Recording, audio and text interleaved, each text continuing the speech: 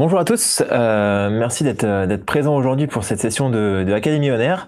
Euh, je suis Étienne Delouvrier, je suis euh, chargé de, de stratégie de compte AdWords euh, chez Google sur le marché français. Moi, je suis Maxime Callot, je suis dans la même équipe qu'Étienne, donc chargé de compte aussi sur, des clients français.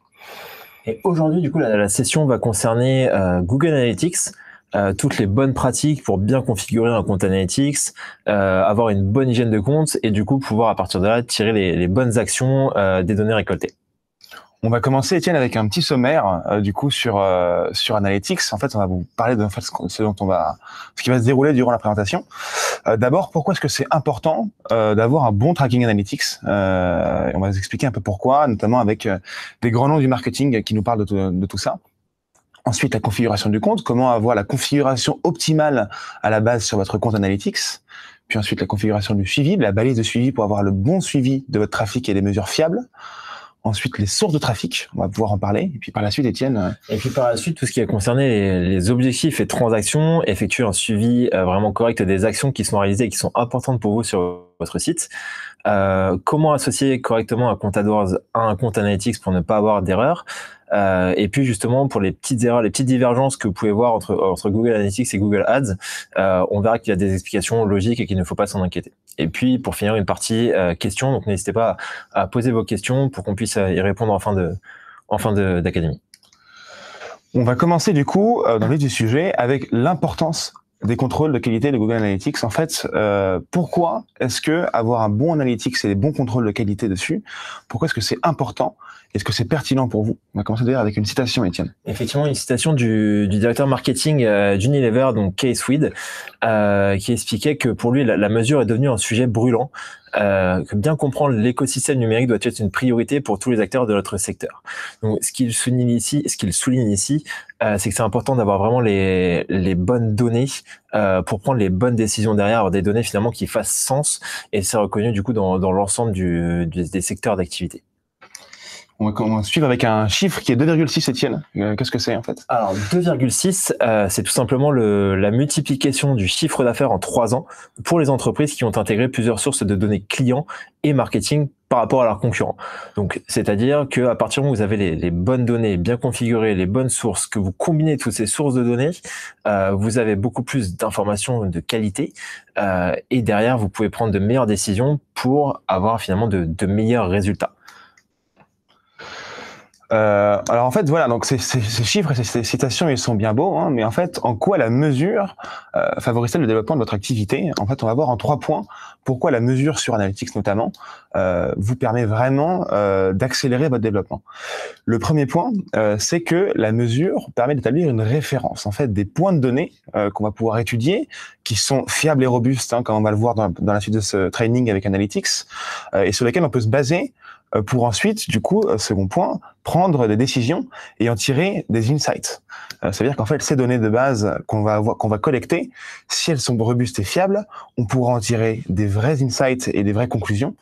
Et du coup, qu'est-ce qu'on va pouvoir faire avec ces insights, Étienne? Et Effectivement, à travers ces insights, c'est hyper important puisque ça vous permet de, de mieux comprendre le, le, chemin de votre utilisateur, euh, tout en utilisant un petit peu de, de, machine learning pour bien comprendre ce chemin. Et à partir de là, ça vous permet de mettre ces insights tout simplement en pratique, c'est-à-dire de prendre des actions, de prendre des décisions, euh, tirer ces et qui vont être vraiment les plus adaptés possibles à votre cible, à vos objectifs, à votre activité, pour maximiser à la fois euh, une acquisition, mais aussi une lifetime value, par exemple et arriver à cette augmentation de 2,6 fois le, chiffre d'affaires dont on parlait tout à l'heure. Et n'oublie pas d'afficher sur l'écran, hein, Étienne. Voilà. Donc euh, voilà, voilà les, trois, les trois, euh, les trois points du coup sur sur ce sur cette mesure. Ensuite, quels sont les avantages d'Analytics? Euh, Il y en a plusieurs. Hein. Nous, on en, on en voit cinq principaux dont, dont, dont, dont on voudrait vous parler. Euh, le premier, c'est qu'Analytics vous permet de faire une analyse euh, de site web. Donc, en fait, une analyse qui est holistique sur votre site, c'est-à-dire qu'il est multicanaux, donc il, il, il, prend le trafic qui vient de différents canaux sur votre site web. Donc, on a une vraie analyse très complète du trafic qui est sur votre site, de l'acquisition jusqu'à la conversion, en passant par le comportement de l'utilisateur sur le site. Euh, donc, une vraie analyse poussée. Second point, on a une interface qui est conviviale, qui a été étudiée par des experts euh, pour être euh, utilisable par tous, et des rapports qui sont partageables. Ça veut dire que si vous avez des collègues ou, euh, ou des personnes avec qui vous travaillez qui n'ont pas accès à votre analytics euh, ou qui, ne peuvent pas y avoir accès tout simplement, euh, vous allez pouvoir partager des rapports avec eux, euh, donc des rapports par exemple Google Sheet ou des fichiers Excel, donc des données brutes que vous allez pouvoir exporter d'analytics et du coup le partager avec n'importe qui quelque part. Troisième point, les insights qu'il y a sur euh, Analytics sont fournis par le machine learning. Hein. C'est qu'en fait, on est, comme vous le savez, on est grand fan euh, chez Google d'intelligence artificielle et de machine learning. Donc, on a des rapports en fait qui vont générer automatiquement et qui vont vous aider à mieux comprendre les chiffres clés de votre activité euh, grâce au machine learning, qui va vous aider du coup à, à fournir les, les meilleurs chiffres. Effectivement, un autre avantage de Google Analytics, bah, c'est tout simplement son intégration parfaite à Google Ads. C'est-à-dire deux interfaces qui sont développées euh, de manière cohérente pour s'intégrer, que vous retrouviez les, données et que les deux puissent s'intégrer de manière parfaite pour répondre à vos objectifs business.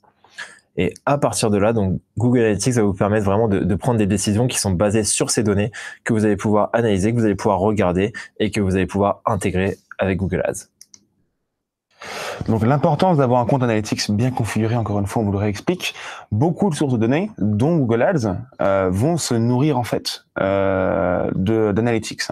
Donc en fait, les données qui sont fournies par Analytics à ces, à ces plateformes vont influer sur les décisions commerciales et les décisions marketing. Donc il faut vraiment que la configuration de base soit bien faite, qu'on ait des données robustes pour qu'on puisse prendre des bonnes décisions marketing. Donc pour nous, c'est très important que ces informations soient absolument correctes pour vous. Si elles sont biaisées, on avoir des décisions biaisées. Effectivement, j'ai un bon exemple à, ce sujet.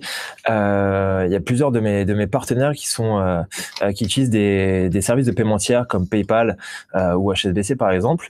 Et euh, imaginons qu'un qu'un consommateur clique sur une annonce, aille sur votre site, puis décide d'acheter votre produit en toute logique, euh, le, le, bienfait et l'origine devraient finalement revenir à euh, à l'annonce payante. Et eh bien, si vous utilisez un service de paiement tiers et votre compte Analytics n'est pas parfaitement configuré, ça risque de revenir au site referral qui est PayPal par lequel l'utilisateur va passer euh, pour acheter son produit. Donc, de là, vous prendrez des, mauvaises décisions business puisque vous aurez des mauvaises informations à la base. Donc, attention effectivement à cette, à cette configuration. On va passer ensuite maintenant sur la configuration du compte. Donc on rentre un petit peu dans le vif du sujet, dans, le côté un peu technique. Euh, donc il y a différentes euh, étapes pour créer un compte euh, et différents euh, différents types de, de, de blocs en fait qu'on a dans la création d'un compte. Alors, pas d'inquiétude si le vôtre est configuré de manière très différente. Ce sont les, les best practices. Après il faut effectivement les adapter à chacun. Euh, donc la structure d'un compte, euh, c'est simple en fait. Vous avez euh, comme des poupées russes, si vous voulez, trois grandes, trois grands types de, pièces sur un compte Analytics. Le premier, c'est le compte. C'est l'entité la plus élevée, la plus, la plus haute qu'on puisse avoir sur Analytics. Un compte, c'est on n'a rien, au-dessus, si vous voulez, qui, gère, qui gère votre votre analytics, euh, ça va être par exemple une, euh, un, magasin, un magasin de chaussures. Donc on va prendre dans, l'exemple qu'on a euh, sur l'écran. Euh, le magasin de chaussures, c'est votre shop. Vous avez un compte qui est pour ce magasin. Ensuite, en dessous du compte, qui est dans le compte, on va avoir plusieurs propriétés. Là, en l'occurrence, on a une propriété qui est pour en fait pour un nom de domaine. Donc, on avoir des propriétés par un nom de domaine, grosso modo. C'est comme ça que ça fonctionne. Donc, par exemple, vous avez monmagasin.fr pour un site français et mon magasin.com pour un site américain. Donc, on aura différentes propriétés en fonction des euh, URL, euh, des noms de domaine que vous avez. Et dans chaque propriété, on va pouvoir appliquer différentes vues. Et une vue, en fait, ça correspond à un filtre. Donc, comme on le dit, une vue, c'est une manière de regarder les données. Donc, vous avez différentes façons de regarder vos données pour chaque propriété euh, avec vos vues. Effectivement. Donc, avoir un compte en dessous des propriétés et enfin différentes vues avec différents filtres. Très important à savoir, c'est que les vues euh, ne sont pas rétroactives. C'est-à-dire qu'à partir où vous créez une vue, vous aurez les données à partir de ce moment-là, mais pas avant. Donc très important de bien configurer ces vues dès le début, dès l'installation de votre compte Analytics. Et a contrario, euh, si vous supprimez une vue, vous perdez l'ensemble de ces données de manière irrémédiable. Donc faites bien attention à vos paramètres de vue, c'est très important de les créer correctement et ensuite de les utiliser correctement et de ne pas les supprimer. D'ailleurs, on va aborder ça dans la partie suivante, euh, qui est euh, du coup les bonnes pratiques hein, euh, pour créer euh, vos vues. Effectivement. Quelles sont, les, quelles sont les bonnes vues à avoir Maxime, dis-nous en plus. Mais écoute, euh, Étienne, c'est simple. En fait, il y a des vues qu'on recommande vivement, des vues facultatives. On va commencer par les vues qu'on recommande vivement. La première, c'est on vous recommande de créer une vue des données brutes. En fait, les données brutes, c'est des données euh, qui sortent simplement, qui viennent sur votre site euh, et qui sont sorties sur Analytics, sur lesquelles on, ne touche rien. On ne prend aucun prisme de vue, aucun filtre, si vous voulez. Euh, on laisse ces données de manière totalement brute sur une vue, comme ça. On a toutes les données qui sont là en permanence seconde vue qu'on va créer, c'est euh, une vue principale. La vue principale, justement, ça va être avec l'angle de vue que vous voulez avoir de manière principale sur vos données. Donc, en général, ce qu'on va voir sur une vue principale, c'est qu'on va avoir un filtre qui va exclure le trafic interne. Euh, vous avez un site, vous avez vos employés qui vont aussi dessus. Vous voulez avoir le vrai trafic qui vient de vos clients pas uniquement le trafic de vos employés. Donc, vous voulez pas que les deux choses soient mêlées. Donc, on va en général exclure le trafic qui provient d'une adresse IP particulière, par exemple, ou d'une série d'adresses IP qui est le trafic interne. Ensuite, on va voir euh, la vue test. La vue test est une vue en fait pour essayer, tester, casser en fait quelque part, parce que comme l'a dit Étienne, vu que tout ce qu'on fait euh, n'est pas rétroactif, si vous supprimez une vue si vous faites une erreur avec vos données et vous les manipulez d'une manière un petit peu euh, un, petit peu osé, disons, euh, vous pouvez casser les données sur une vue principale, ce qui serait critique parce que toutes les sources de données se nourrissent euh, d'analytics. Euh, donc une vue test, ça va être une vue qui va permettre d'expérimenter euh, et, de, et de tester des différentes, euh, différentes choses avant ensuite de les mettre en place si ça fonctionne sur votre vue principale. Du coup, en résumé, trois vues qui sont vivement recommandées. Une vue avec des données brutes sur laquelle tout sera conservé, une vue principale sur laquelle vous allez avoir votre euh, votre regard principal, ce qu'on appelle la master view, euh, sur laquelle vous allez regarder quotidiennement vos, conversions par exemple, et ensuite une vue test euh, pour essayer des choses euh, et des, des filtres, etc. On a aussi ensuite des vues facultatives. Donc une vue qu'on appelle la vue euh, user ID. Euh, user ID, qu'est-ce que c'est en fait Très rapidement, c'est l'user ID, c'est euh, un ID en fait qui reste entre différents périphériques pour l'utilisateur. Il permet notamment de traquer euh, un utilisateur sur différents périphériques. C'est-à-dire qu'en fait, une personne qui vient chez vous au début par avec un mobile, qui revient le lendemain avec un ordinateur, euh, on pourra l'assigner à un user ID et se dire en fait c'est la même personne qui vient et ce sont pas deux personnes différentes. C'est une vue qui, qui, est particulière et qui peut se créer sur Analytics, ainsi qu'une vue personnalisée. Simplement en fait c'est comme une vue principale, sauf qu'on aurait différents prismes de vue et on pourra avoir des vues légèrement différentes selon les angles qu'on veut apporter aux données. Effectivement, donc trois vues au minimum vivement recommandées et puis derrière tout un lot de, vues facultatives que vous pouvez créer euh, assez facilement. Euh, très important du coup au moment de la création de la vue, euh, c'est de, de, regarder les petits détails tels que les fuseaux horaires et les devises. On voit trop souvent des comptes analytics qui ne sont pas paramétrés avec les mêmes euh, les vues analytiques qui ne sont pas paramétrées avec les mêmes devises ou les mêmes fuseaux horaires que votre compte Google Ads, ce qui crée effectivement des, des soucis dans le reporting, ce qui crée des soucis dans la lisibilité.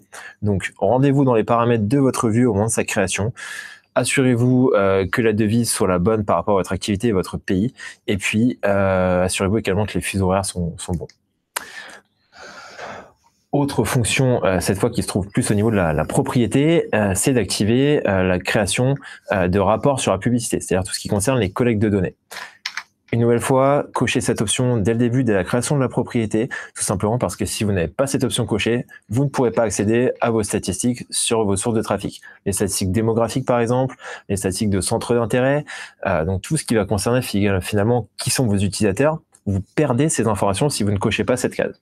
Donc, faites-le bien, ça vous permettra plus tard de, mener toutes vos actions de remarketing, d'acquisition, etc.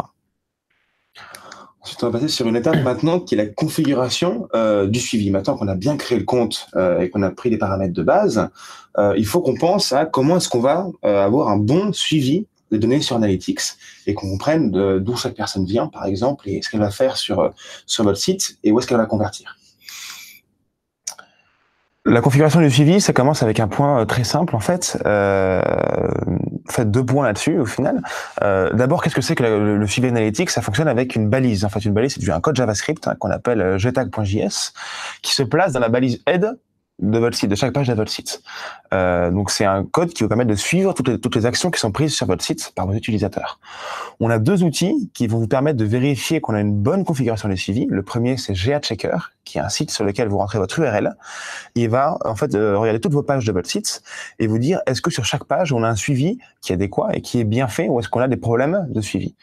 L'autre, euh, l'autre, l'autre euh, système qu'on utilise d'ailleurs beaucoup en interne s'appelle Google Tag Assistant. C'est un plugin qui est gratuit, qui fonctionne sur Chrome et d'ailleurs sur d'autres navigateurs aussi, euh, et qui nous permet de savoir en fait si euh, les tags qu'on a installés, les tags Google en fait, donc les, les, balises de suivi, sont bien configurés. On a trois, trois types d'indicateurs. L'indicateur vert, qui veut dire en fait que tout fonctionne bien, la balise fonctionne bien et le tracking est correct. L'indicateur bleu, qui veut dire qu'il y a des soucis mineurs, mais qu'il faudrait quand même regarder pour avoir un meilleur suivi. Et l'indicateur rouge, qui veut dire qu'il y a carrément un problème. Donc si vous avez, si vous avez ça, euh, il faut vraiment que vous preniez une action et que vous fassiez attention parce que votre suivi, a priori, n'est pas correct. Effectivement. Et je me permets d'ajouter également, Maxime, que si vous utilisez Tag Manager, Google Tag Manager, qui est un, un outil Google, c'est également un bon moyen pour vous d'installer vos balises de manière simplifiée. Même si vous n'êtes pas dev, même si vous ne voulez pas et que vous ne pouvez pas rentrer dans le code, vous pourrez le faire via Google Tag Manager. C'est un autre, un autre moyen pour vous de, de configurer votre suivi. Euh, sur les sous-domaines, euh, un point rapide. Si vous avez des sous-domaines, par exemple comme un blog, hein, blog.votresite.com, euh, il faut bien penser à exclure euh, le, votre nom de domaine dans les, euh, dans les listes référentes, dans, dans ce qu'on appelle le referral en anglais. Euh, vous avez ici sur la démo, vous voyez comment faire. Donc, c'est-à-dire que vous avez votre site.com, vous l'excluez tout simplement parce que si une personne vient du blog qui est un sous-domaine, Analytics va considérer en fait que c'est un autre site. Donc, il va croire que c'est une personne qui a un trafic externe notre site qui vient chez vous dans, dans, dans un trafic référent alors que c'est bien votre site. Donc, pensez bien à exclure votre nom de domaine si c'est votre cas et si vous avez des sous-domaines. Effectivement, la, démarche est assez simple. Il faut simplement se rendre dans, les paramètres, être dans les informations de suivi et exclure les sites référents. Au niveau des sites référents, on a certes les sous-domaines, mais on a également ce dont, on parlait tout à l'heure concernant les services tiers, tout ce qui est PayPal, HSBC, etc. Pensez à les exclure de la même manière si vous voulez avoir des données justes et du coup des prises de décision qui soient justes. Que c'est ce que tu. Euh... Ok. Et, je pense que tu as passé en arrière, euh, à notre personne avant, excuse-moi. Euh, source de trafic. Euh, maintenant qu'on a bien euh, mis en place la propriété euh, du compte, la, la, la, structure et les vues, on va parler des sources de trafic et comment ça fonctionne sur Analytics. Premier point, Étienne, qui est super important. Euh, Est-ce que tu peux nous rappeler en fait ce qu'il faut bien faire sur Google Ads euh, au niveau des sources de trafic? Ouais, Effectivement, quand on, quand on passe par, par Google Ads, il faut surtout penser à activer le, le marquage automatique euh, pour s'assurer d'avoir un, un, bon tracking euh, des actions. Maxime, dis-nous un petit peu plus sur, sur le, le, marquage automatique. Alors le marquage automatique, en fait, c'est euh, ça, ça consiste à avoir des paramètres qui sont passés par euh, Google Ads en l'occurrence dans votre URL c'est-à-dire que si une personne clique sur une annonce, aujourd'hui sur un, un, un, de vos Google Ads, euh, la personne va aller sur votre site Analytics, donc Analytics va commencer à traquer le trafic à partir de ce moment-là. Et il faut qu'Analytics puisse bien savoir quelle est la source, d'où vient ce trafic. Donc on peut savoir que c'est de Google Ads, mais on veut aussi en savoir plus, de quelle campagne ça vient, de quel groupe d'annonces, de quelle annonce, de quel mot-clé. Voilà, c'est des choses qu'on peut savoir sur Analytics euh, et avoir un tracking euh, complet. Sur Google Ads, il y a une option qui est en fait géniale, c'est que le tracking peut être fait de manière entièrement automatique. Avez rien à faire, vous avez rien à faire du coup à part cocher une case. C'est ce qu'on appelle sur Google Ads le G-Clead. Voilà, c'est un terme un peu technique. Euh, si vous si vous cochez cette case, en fait, Google Ads va automatiquement passer tous ces paramètres dans une URL euh, à Analytics qui pourra lire du coup euh, le, le, les sources de trafic. Ça va rien changer pour l'utilisateur, c'est transparent pour eux, mais vous, vous aurez toutes les données. Et ça vous évite d'avoir à paramétrer du coup de, de, votre côté des UTM pour toute la partie du coup campagne Google Ads. Alors, à l'inverse, pour tout ce qui est marquage des médias non Google, il y a d'autres moyens de, suivre. Alors justement, Étienne, vous parlez d'UTM. Qu'est-ce qu'une UTM En fait, euh, c'est un petit paramètre qu'on rajoute dans une URL. Vous avez parfois vu ça dans, vos URL. Euh, si vous vais sur votre site.com, parfois vous voyez après, pour l'interrogation, UTM campagne égale euh, achat chaussures. Et puis UTM Medium égale Google, par exemple.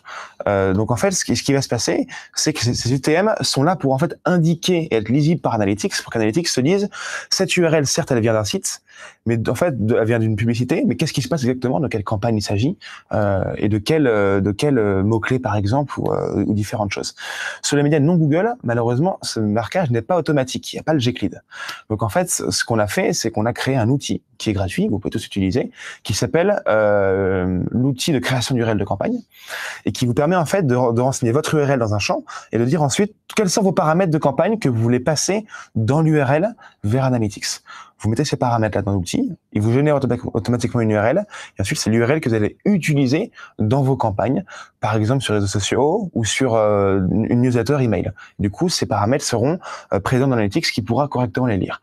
Alors il y a des bonnes pratiques qui sont très importantes, Étienne. Effectivement, trois bonnes pratiques principales. Donc comme on l'a dit, ne taguez pas euh, les médias Google, pas besoin, c'est fait automatiquement si vous autorisez le, le tracking automatique.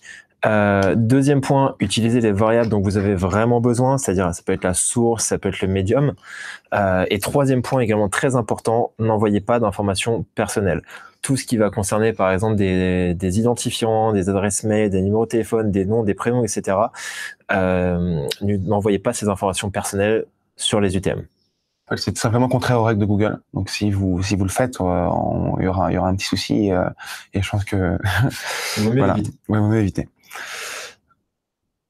Euh, ensuite, on va parler des groupes de canaux sur Analytics. Alors, qu'est-ce que c'est d'abord qu'un groupe de canaux? En fait, simplement, c'est simple. Vous avez différentes sources de trafic, hein, comme on l'a vu avant, et les groupes de canaux vont être en fait une méthode pour catégoriser ces sources de trafic en se basant sur des règles. Par exemple, si source égale euh, Google et Medium égale CPC, euh, ce qui va se passer, c'est que on va, on va attribuer cela à du euh, de, la recherche payante, ce qu'on appelle du paid search sur Analytics. Euh, si source égale trafic organique, euh, ça va être le trafic organique. Si source égale euh, Facebook ou Twitter, ça va être des réseaux sociaux. Euh, un exemple, voilà, sur le réseau display, qui est un groupe de canaux, euh, on aura différents canaux, qui va être la prospection, donc l'acquisition de clients avec le réseau display Google, le remarketing, donc le reciblage, hein, donc c'est une campagne différente, et aussi le display non Google, donc on pourrait avoir du Criteo par exemple, qui pourrait être assigné à ce groupe de, de canaux, qui est le réseau display. C'est juste une manière de regrouper vos sources pour avoir une meilleure lisibilité finalement, Google crée des Google Analytics crée des, des groupes de canaux euh, basiques euh, qui sont là automatiquement pour vous, tels que le paid search, euh, le direct, l'organique, le display, etc. Mais derrière, vous avez quand même la possibilité de, de moduler tout ça et de personnaliser. Différentes options. Une première option qui vous permet de modifier les, groupes de canaux par défaut. Oui, alors voilà, les groupes de canaux par défaut, en fait, comme le disait Étienne, vous avez différents groupes qui sont déjà pré-créés dans chaque compte Analytics. On peut aussi les modifier. Vous pouvez par exemple dire le groupe réseaux sociaux, je veux que ça inclue aussi Pinterest, par exemple. Donc vous pouvez euh, inclure toutes les sources qui sont égales à euh, X et médium égal à Y euh, pour en fait avoir groupé toutes les sources de trafic que vous voulez dans les bons groupes de canaux. Donc en fait modifier les groupes par défaut pour les adapter à votre convenance. Deuxième possibilité également, on ne se limite pas aux, aux groupes par défaut, on peut également créer des groupes de canaux personnalisés. Les groupes de canaux personnalisés, en fait, c'est en plus des groupes de canaux qui sont là à la base sur votre euh, sur votre compte, vous pouvez en fait créer des nouveaux groupes de canaux que vous allez nommer comme vous voulez, sur lesquels vous allez rassembler les sources que vous désirez rassembler. Donc en fait, on peut avoir plusieurs groupes de canaux en plus de ceux qu'on a de base et euh, spécifiques à chaque activité, à chaque industrie, chaque euh, chaque entreprise, vous pourrez avoir les groupes de canaux euh, que vous voulez pour différentes sources d'acquisition. Donc c'est une façon de, de, voir les données, de voir les données différemment, mais ça ne, ça ne modifie pas évidemment les données sous-jacentes. Si c'est des groupes de canaux, euh, encore une fois, qui sont différents et nouveaux, n'oubliez pas de les promouvoir avec vos utilisateurs de les partager avec eux pour que ce soit des groupes qui prennent de l'importance sur votre site et qui soient utilisés. Donc c'est de nouvelles sources d'acquisition qui sont pas encore forcément démocratisées et que vous êtes par exemple un peu avant-gardiste, vous avez une manière de voir les choses différentes là-dessus, n'oubliez pas de bien communiquer avec vos clients vos utilisateurs euh, pour que ce soit des groupes qui soient efficaces euh, et que vous les créez pas, si vous voulez, pour avoir un groupe sans trafic quelque part. Donc enfin, maintenant, donc techniquement, on a bien paramétré le compte, euh, on a une structure qui est fantastique, comme l'a expliqué, Maxime. On sait d'où provient le trafic et on a catégorisé correctement via des groupes de canaux. Mais ce qui est important de savoir, c'est finalement qu'est-ce que vos utilisateurs font sur votre site? Et surtout quelles sont les actions importantes pour vous sur le site? Par exemple, est-ce que ça va être un achat? Est-ce que ça va être télécharger quelque chose? Bref, de savoir exactement quelles sont les, actions qui comptent et quels sont les utilisateurs qui les font. Et tout ça, c'est une partie qu'on appelle chez nous les objectifs et transactions. Donc, euh, il est important en fait de, préciser pour vous quels sont les objectifs les plus importants euh, dans votre activité. Donc, ça peut être effectivement beaucoup de choses. Euh, ça peut être simplement d'avoir des, prospects, ça peut être d'avoir des personnes qui essaient une démo, qui téléchargent un livre, un temps passé sur un site également. Bref, il faut vraiment savoir quels sont pour vous les, les KPI, quels sont vos principaux objectifs vis-à-vis de, vos visiteurs.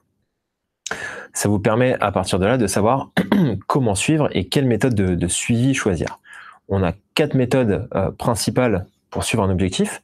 on peut soit suivre un objectif via un URL, donc un URL de destination sur votre page, ça peut être une page de confirmation de paiement, tout comme ça peut être une page de contact. Ça peut être vraiment n'importe quel URL de votre site. On peut également avoir euh, une notion de temps passé.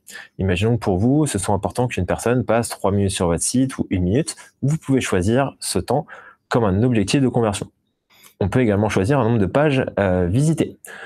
Imaginons que vous ayez un certain nombre de, pages qui mènent à une action. On peut se dire qu'une conversion, un objectif, euh, serait finalement de passer 3 pages ou 4 pages par visite. Ça peut être un objectif. Et enfin, dernier objectif possible, c'est un événement. Donc un événement, c'est euh, à peu près n'importe quoi sur votre site, c'est-à-dire que ça peut être un clic à un endroit spécifique, ça peut être euh, un clic sur une, sur une brochure, sur un récit mail, sur un bouton qui révélera un numéro de téléphone. C'est vraiment une action qui est prise et tout ceci est, est entièrement combinable. Donc ici, c'est vraiment tout ce qui s'appelle objectif. Sur AdWords, on appelle ça les, conversions. Sur Analytics, ça s'appelle objectif ou goals. Et ça se configure de manière euh, assez simple dans votre euh, dans votre compte, dans votre panneau d'administration. Vous allez sur la partie euh, sur la partie sur la partie objectif et vous créez votre objectif. Donc justement, création d'objectifs, en fait, comment ça se passe euh, Quand vous le faites, quand vous sur cette partie-là d'administration, comme le disait Étienne, vous avez d'abord à rentrer un nom, hein, donc vous dire quel est mon objectif. Est-ce que c'est soumission de la formulaire de contact? Est-ce que c'est avoir vu une vidéo, avoir cliqué quelque part? Euh, Et puis on peut sélectionner ensuite le type, donc parmi les quatre types dont, euh, dont Étienne vous parlait, euh, destination, durée, euh, nombre de pages vues ou un événement. Et un élément qui est oublié peut-être un petit peu trop souvent, c'est qu'on pense beaucoup aux, conversions principales, donc ce qu'on appelle chez nous les macro-conversions, qui peut être un achat final, mais on peut aussi mettre en place des, des micro-conversions. Alors Maxime, qu'est-ce qu'une micro-conversion? Alors en fait, une micro-conversion, c'est une conversion, si vous voulez, qui n'est pas une conversion finale pour vous. C'est-à-dire que c'est pas forcément un achat ou une personne qui soumet un formulaire, mais c'est en fait une sorte de conversion qui amène vers, cet objectif-là. Euh, on a d'ailleurs un type de micro-conversion dans Analytics qu'on appelle euh, les objectifs intelligents, que vous voyez ici, qui s'appelle Smart Goal, c'est en anglais. Euh, en fait, qu'est-ce que ça va être? C'est par exemple un nombre d'actions qui vont être pris par les, par les utilisateurs sur le site. Donc ça peut être des pages vues, ça peut être un temps passé sur le site, où vous allez vous dire, à partir de ce moment-là, j'estime qu'en fait mon utilisateur se rapproche de la conversion. Donc en fait, il a passé une micro-conversion, un petit peu, et pour partir de votre site, euh, naviguer autre part, revenir deux, par exemple deux jours après, et là faire une macro-conversion. Donc c'est important aussi de traquer les micro-conversions, qui sont pas des conversions définitives, mais qui amènent vers la conversion, et qui donnent des données intéressantes en sachant qui sont mes utilisateurs parmi ceux qui viennent chez moi, qui n'ont pas fait de micro-conversion, parmi ceux qui en ont fait. Il y a des gens qui viennent chez vous, qui voient une page et qui partent, et des gens qui viennent chez vous, qui restent une demi-heure sur le site. Peut-être qu'ils vont pas convertir, mais ils sont vraiment intéressés par vos produits. Donc on peut enregistrer ça comme micro-conversion. Effectivement, ce qui est important, c'est vraiment d'avoir cette notion de, degré d'engagement de l'utilisateur. Et une micro-conversion, c'est quelque chose qui va, qui va vous permettre de mesurer un petit peu ce, degré d'engagement, et donc plus tard peut-être de, de mener des actions spécifiques par rapport à un degré d'engagement quelqu'un qui a qui a passé deux minutes sur votre site ne sera pas reciblé du coup de la même manière que quelqu'un qui aurait passé trois minutes sur votre site ça vous permet de mener des actions commerciales et marketing spécifiques. Euh, ensuite, sur la création d'objectifs, écoutez, en fait, là, on va juste vous parler un petit peu d'un détail un peu plus technique. Euh, par exemple, sur une destination, euh, quand vous utilisez une page destination, il est bien important de se rendre compte qu'il y a trois types de correspondance, en fait. Il y a égala. Donc, égala, ça veut dire qu'en fait, si vous mettez une URL, il faut que ce soit exactement égal à l'URL que vous avez mise. C'est des choses qui sont après l'URL. Donc, par exemple, vous avez conversion avec après quelque chose qui est et numéro de commande égal euh, 1, 2, 3, 4. Si vous mettez égal à conversion, ça fonctionnera pas parce qu'il faut que ce soit exactement égal. Commence par, dans ce cas, ça sera par exemple ce que vous allez utiliser, euh, qui va dire commence par confirmation. Peu importe ce qu'il y a après. Euh, voilà, il faut juste que l'URL commence par confirmation. Euh, quand on dit commence par, c'est après votre nom de domaine. votre site.com slash confirmation. Oui, vous mettez slash confirmation, ça commence par ça. Le nom de domaine, il est inclus par défaut. Pas besoin de le mettre dans les conversions. Vous mettez juste ce qu'il y a en fait après le nom de domaine à partir du, premier slash. Et la regular expression, euh, donc euh, ce qu'on appelle le regex, c'est pour mettre notamment euh, des, des, des, passages qui sont inclus. Par exemple, contient euh, de confirmation de commande. Donc ça veut dire que ça peut être inclus n'importe où dans l'URL et on peut dire voilà, il faut que ça il faut que ça contienne ce passage-là. Si une URL visitée contient ce passage, c'est une conversion. Petite astuce également, quand vous créez ce, type d'objectif, vous avez, la possibilité de, le vérifier au moment de la création.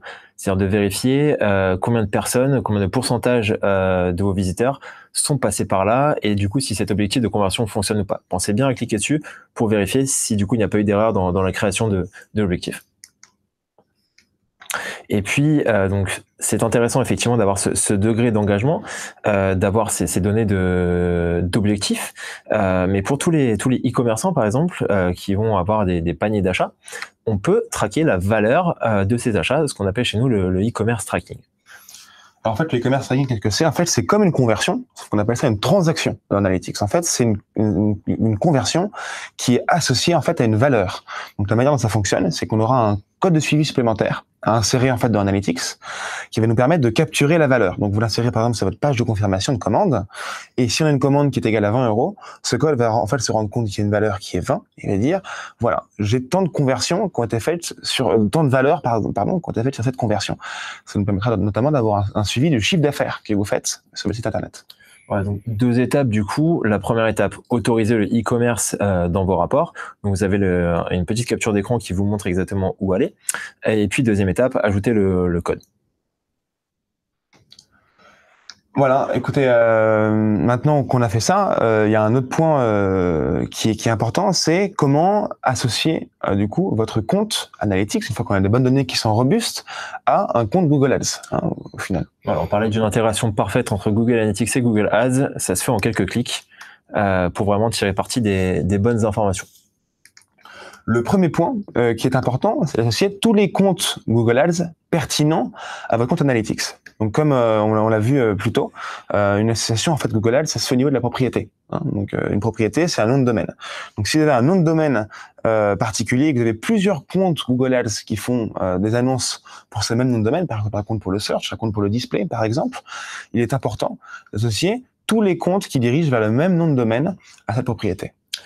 Et à ce propos, du coup, si vous avez des comptes qui sont, euh, qui sont différents pour du search, du display, du YouTube ou pour différents pays, vous avez certainement également un compte administrateur qu'on appelle aussi multicompte ou MCC. Euh, et donc à ce niveau-là, pensez bien à associer le compte Analytics au niveau du compte euh, MCC. C'est un côté pratique. Pourquoi?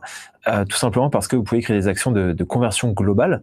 à l'échelle de l'ensemble de vos, de vos comptes AdWords, et puis également paramétrer des, des listes d'audience partagées à partir de là. Donc c'est plus simple de l'associer au niveau d'un multi-compte si vous en avez un. Et troisième et dernier point, vérifier que les données sont, sont correctement transmises à Google Ads. En, théorie, enfin en, pratique même, il n'y a pas de souci. Euh, vérifiez juste que voilà, les données remontent bien en termes de, de, de, trafic. Euh, D'ailleurs, on va pouvoir voir dans la slide suivante une manière de, bien le vérifier. Effectivement, tu fais un, petit check au bout de 2-3 jours pour vérifier les, les données. Euh, et puis un des, un des moyens de, de, vérifier les données qui est hyper important, c'est d'avoir vos conversions, vos objectifs analytiques qui sont bien apportés dans AdWords. Euh, maintenant Google Ads d'ailleurs. Hein. Et en fait, c'est assez simple maintenant à faire. Euh, vous allez en fait dans votre Google Ads, vous cliquez sur la clé molette en haut du compte, qui est euh, les outils, puis dans la rubrique conversion, et ensuite vous allez voir en fait un plus bleu en haut de votre compte. Vous cliquez dessus, vous allez sur la rubrique apporter, vous sélectionnez Google Analytics, et ensuite à partir de ce moment-là, si votre compte est bien lié, vous verrez tous les objectifs qui ont été créés dans Analytics qui apparaîtront ici comme des conversions à importer. Il suffit de les cocher, de les importer, et vous aurez du coup les données qui seront poussées de Analytics vers Google Ads. c'est un moyen extrêmement simple pour vous d'avoir vos, conversions qui remontent dans Google Ads pas besoin d'ajouter une balise de conversion supplémentaire Google Ads, pas besoin de, nouvelles balises, juste importer vos objectifs de conversion Analytics et ça vous permettra d'avoir vraiment l'ensemble de ces datas et de pouvoir gérer avec des CPC optimisés, des CPA, euh, voire des ROS pour aller un petit peu plus loin sur, sur tout ça. Et puis également, très important à savoir, c'est que vous pouvez euh, importer l'ensemble de vos objectifs. Donc on parlait tout à l'heure de macro conversion et de micro conversion vous pouvez importer l'ensemble euh, sur votre compte Google Ads, mais choisir ou non de les compter comme des conversions, de les inclure dans vos véritables conversions sur Google Ads. Il y a une petite option qui, au moment de la création qui vous permet de mettre inclure dans conversion oui ou non. Si vous mettez oui, donc ça apparaîtra dans, vos conversions et euh, les stratégies d'enchères automatisées vont enchérir à partir de cette information. Si vous mettez non, vous aurez une information dans, dans Google Ads supplémentaire pour vous donner ces conversions-là, mais ça ne sera pas pris en compte dans les enchères. Voilà, maintenant, euh, écoutez, on est, euh, on est au top. Si vous avez bien suivi ces étapes-là, euh, normalement, on a un compte qui est euh, super bien fait, donc, euh, donc bien joué. Euh, maintenant, ce qui est, on voudrait juste vous parler d'un point aussi qui est, qui est important, qui est les divergences qu'on peut avoir, Étienne, entre Analytics et, et Google Ads. Effectivement, on a pas mal de pas mal d'annonceurs qui, qui s'affolent un petit peu et qui nous appellent en disant bah écoute Étienne, euh, j'ai des données qui sont différentes entre AdWords et Analytics. Il y a quelque chose qui entre Google Ads et Analytics. Il y a des informations qui remontent mal, je ne comprends pas, mes conversions sont différentes. Bref, il y a quelque chose qui va pas. Eh bien en fait, la réponse, euh, c'est pas forcément que vous avez oublié quelque chose. La réponse, elle peut venir de, de deux principaux facteurs. Euh, le premier, euh, c'est le, le, moment, euh, c'est que les rapports en fait Google Ads et Google Analytics ne sont pas faits pareil vis-à-vis des conversions et notamment vis-à-vis du, du, moment euh, où remonte cette conversion. Maxime, dis-nous un petit, un petit peu plus dessus. En fait, euh, Google Ads en fait considère que les, les conversions viennent euh, du clic sur une annonce. Donc, euh, si vous avez un clic qui est fait le 1er décembre, Google Ads va dire en fait que la conversion vient du 1er décembre. Par contre, sur Analytics, euh, comme on peut le voir si on avance, Étienne, on aura en fait une conversion qui sera prise à la date de la conversion. Donc en fait, si le premier clic, si le clic est fait le 1er décembre et que la conversion est faite le 9 décembre, du coup, sur une même période de temps, on aura parfois des divergences où euh, AdWords va dire, bah, écoutez, moi la conversion vient du clic, donc elle vient de telle date, et, la, et Analytics va dire, bah, moi ça vient du 9 décembre parce que ça vient du moment de la conversion. Donc c'est normal, c'est la manière dont ces outils euh, comptabilisent les conversions. Il n'y a pas à vous inquiéter. Sur une même période de temps, du coup, vous aurez forcément des, divergences euh, qui vont en général entre 10-15%. Hein. Effectivement. En fait, ça va, principalement dépendre de votre, de votre temps de, conversion. C'est-à-dire que si on considère que vous êtes par exemple sur une optique de, prise de leads, généralement, ça va se faire en, euh, le délai de conversion va être en, un clic, une journée, etc. Donc, il n'y aura pas forcément de divergence des conversions Google Ads et des, résultats sur Google Analytics. En revanche, si vous avez des délais de conversion qui sont longs, euh, qui prennent une semaine, qui prennent dix jours, qui a besoin d'un petit temps de réflexion, euh, il y aura forcément des, divergences entre Google Ads et Google Analytics, puisque comme, Maxime le disait si bien, Google Ads remonte la conversion au moment du clic. Donc, si une conversion euh, a été faite via un clic il y a 7 jours, la conversion sera remontée il y a 7 jours sur Google Ads versus Google Analytics qui le met vraiment à l'instant, l'instant T de la, conversion. Et puis, une, une, deuxième, une deuxième divergence, euh, c'est si vous utilisez en fait plusieurs, euh, plusieurs canaux, plusieurs canaux d'acquisition. C'est-à-dire que maintenant, on a des utilisateurs qui sont, euh, comment dire, qui ont, qui ont des chemins de conversion de plus en plus longs, euh, qui prennent de, de, plus en plus de touch points, et euh, du coup, ça, il va y avoir un problème de, de, déduplication des conversions sur les différents canaux. Donc, si on prend un chemin de conversion assez classique d'un utilisateur, qui par exemple va commencer sur Google sur le réseau display, puis euh, va être retouché sur du YouTube, puis va passer par un média social, puis va revenir par un lien commercial générique avant de revenir par un lien commercial associé à la marque, et puis finalement qui a retenu à partir de tout ça votre nom de marque, qui va revenir de manière organique et ensuite convertir. Eh bien Google Ads et Google Analytics ne vont pas du tout réagir de la même manière. Par exemple, Google Analytics, euh, Maxime, à ton avis, à qui sera attribuée la conversion sur Google Analytics et à mon avis, Étienne, euh, vu que Analytics, comme on le disait, c'est multicanal, donc il, il, regarde plusieurs canaux. Euh, pour moi, dans le dans le dans le cas que tu as fait ici, euh, j'imagine que la conversion sera attribuée à la recherche organique. Alors, très bonne réponse. Effectivement, Google, Google, Analytics a vraiment une vision multicanal, donc permet euh, d'attribuer la conversion au dernier dernier clic non direct. Dernier clic non direct. Et Google, Ads, en revanche, a une vision différente. C'est-à-dire que Google Ads a une vision uniquement Google Media. Donc, il va voir le réseau display, il va voir YouTube, il va voir les liens commerciaux. Mais Maxime, à qui sera attribuée la, conversion? Eh bien, logiquement, ici, Étienne sera attribué au, au dernier clic qu'il y a eu, en fait, qui est le, les, les, liens commerciaux associés à une marque. Euh, et du coup, voilà, c'est le dernier euh, clic qu'on a eu sur euh, un produit Google Ads. Effectivement. Et donc tout ceci explique qu'il y a parfois des, des, divergences entre ce que vous allez constater sur Google Analytics et ce que vous allez constater sur Google Ads. Donc pas d'inquiétude, votre compte peut être parfaitement configuré et avoir quelques divergences. Ce qui se passe ici, en fait, du coup, c'est qu'en fait, pour un même parcours, euh, comme vous le voyez, Google Ads ne verra pas les médias sociaux ni la recherche organique, tout simplement parce que ça, ne le concerne pas en fait. Il, ne s'occupe que de, que de lui-même, alors qu'Analytics fait du multicanal. Donc lui aura une version, une vision plus holistique et pourra dire en fait le dernier clic vient de l'organique, alors que Google Ads lui dira ben, ça vient de moi parce que je ne sais pas vraiment ce qui s'est passé après, euh, vu qu'il n'a pas ces données-là. Effectivement. Donc euh, On a un petit peu fait le, tour de, l'ensemble des, bonnes pratiques et des basiques pour paramétrer un compte, euh, Google Analytics, bien le relier à Google Ads. Euh, donc, si vous avez des, questions, euh, n'hésitez pas. Donc, on a déjà quelques questions qui sont affichées, donc n'hésitez pas à en envoyer pour qu'on puisse vous, vous, répondre. Donc, on a une première question qui nous demande les objectifs intelligents, c'est utile? Alors, Maxime, je te, laisse commencer. J'ajouterai peut-être un, un petit truc derrière.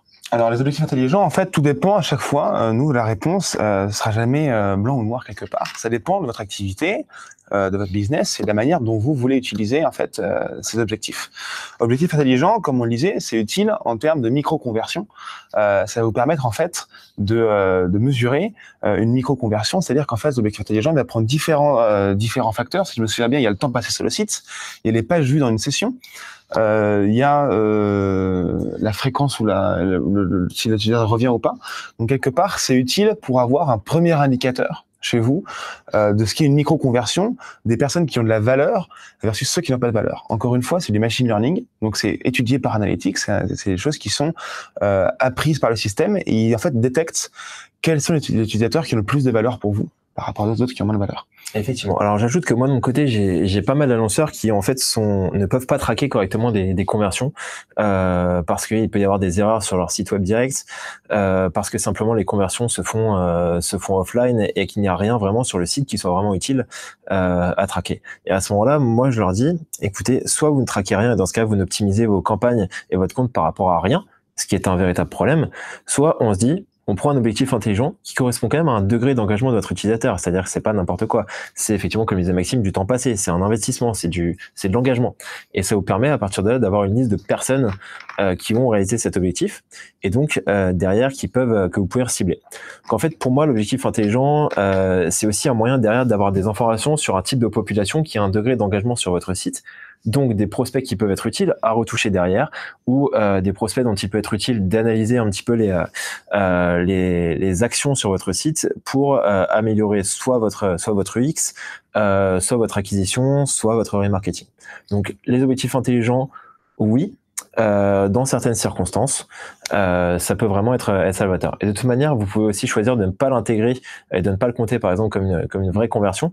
Donc simplement le mettre en place pour avoir des datas c'est toujours utile. Comme tu expliquais, Étienne. Ensuite, on a beaucoup de questions de, de Paco. Alors, Paco, pas de panique. Euh, on va vous expliquer euh, euh, tout ça. Première question, quelle méthode pour empêcher la remontée des objectifs ou transactions au niveau référent des sites de paiement, exemple PayPal alors, c'est ce qu'on disait tout à l'heure en fait concernant la partie exclusion de, de sites référents. on va peut-être je vais peut-être essayer de retrouver la, la, slide pour le rendre plus visuel. c'est simplement au niveau de, de la vue vous pouvez choisir d'exclure euh, certaines choses, et notamment dans les sites referral. Ce sera les fournisseurs de paiement tiers. Donc effectivement, on, pour éviter d'inclure vraiment tous les, fournisseurs de, de paiement tiers euh, au niveau des, objectifs et de bloquer un petit peu la, remontée, euh, vous pouvez exclure au niveau de la vue un site directement. Et dans ce cas-là, les conversions seront comptées, les, euh, la conversion va remonter, mais pour ce qui s'est passé avant. Donc, c'est-à-dire que quelqu'un qui va cliquer sur une annonce Google Ads, par exemple, puis euh, effectuer un achat en passant par un site type PayPal, si vous excluez dans cette dans cette partie dans cette partie de, de la vue PayPal, à ce moment-là, vous n'aurez pas ce, ce problème de de, de mauvaise remontée des transactions. J'espère que, que, je réponds à la, question, Paco. Si c'est pas clair, n'hésitez pas à, revenir. Euh, question suivante. Quelle est la différence de paramétrage analytics entre un site avec plusieurs domaines différents et un site avec un domaine et plusieurs sous-domaines? Alors, comme on l'a vu, en fait, un site avec plusieurs domaines, c'est simple, on aura plusieurs propriétés. Hein, on aura une propriété par domaine, alors qu'en fait un sous-domaine est dans un même domaine. Donc un sous-domaine, s'il y a plusieurs sous-domaines dans une même propriété, euh, dans un même domaine en fait, parce que c'est le même domaine, ce sera une même propriété avec plusieurs sous-domaines que du coup on va devoir exclure hein, euh, dans, les, dans, les, euh, dans les sites référents. Donc euh, réponse simple, plusieurs domaines, plusieurs propriétés, plusieurs sous-domaines dans un même domaine, plusieurs exclusions de sous-domaines, mais une même propriété parce que c'est une propriété par domaine.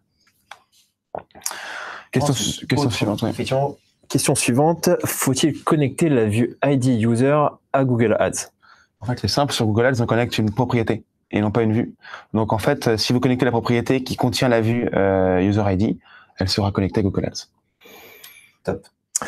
Question suivante, limite de nombre d'objectifs par vue. Quelle solution quand plus de 20 problématiques et les outils de tracking externe ne pourront pas être connectés qu'avec une seule vue? Je suis pas sûr de alors, bien comprendre la question. On a une limite à 20 objectifs, euh, c'est vrai. Euh, la solution, quand on a plus de 20 objectifs qu'on veut, qu'on veut créer, alors si on veut en créer plus de 20, euh, malheureusement, on peut pas. Euh, donc, ce qu'il faut faire, c'est que vous pouvez réutiliser des anciens objectifs qui seraient pas utilisés.